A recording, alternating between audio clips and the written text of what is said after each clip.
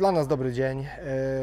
E, Udało się e, sukcesywnie przyspieszać. E, Finalnie jesteśmy na, na podium w Mistrzostwach Polski, jesteśmy na podium w Mistrzostwach Słowacji, jak również w Cezie, więc, więc naprawdę dobry, dobry wynik.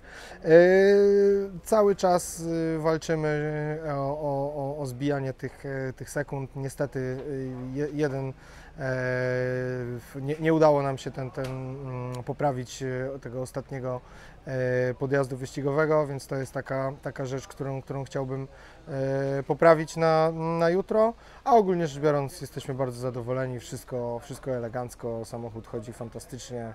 Ekipa Ewotech e, również e, świetnie. E, Moi wszyscy znajomi również. Ja też w nie najgorszej formie, także jutro miejmy nadzieję, że, że jeszcze przyspieszymy.